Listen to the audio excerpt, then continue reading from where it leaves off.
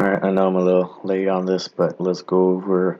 I got three of your deadlift videos downloaded on my laptop so we can go over your starting position. So we'll start with this one, which is the uh, one of the older ones. So you can see right here that you're sitting down a little too much because you can tell how your arm is angled this way when actually it should be a little bit angled the other direction. So your hips should actually be a little bit higher here your shoulders should be in front of the bar here, and then the arm will be angled back a little bit. So you'll see the first thing that happens when you go to pull, because see even went down further now, trying to sit back more.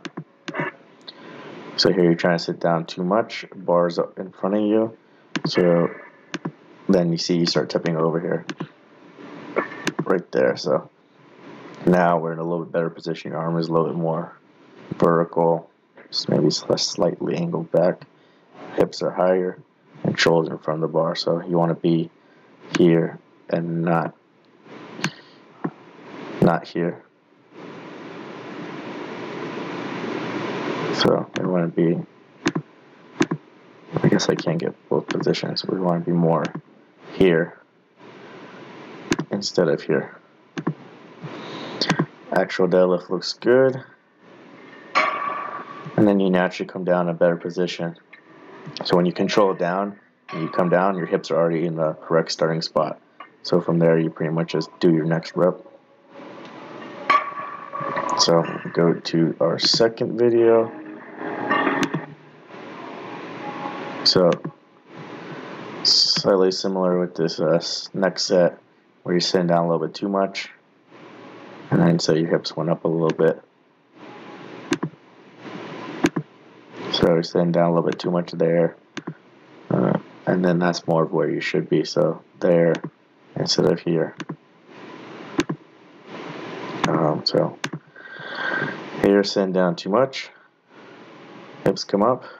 Rest of the delt is good. You naturally kind of bring it down to the right spot.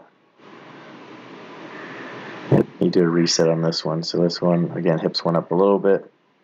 We'll see on this third rep, you come down the right spot. So from there you can just go into your next rep. So it's really just the first rep that you have an issue with because you have to set up without having done a previous rep. Let's go to the third one, which is from this week. So on this one, looks like it's a little better position so far. Hips are up higher. So there you go, that one. Hips didn't shoot up. You started in the right spot. And then from there, the rest of your reps are, are good until you naturally just come down the correct spot.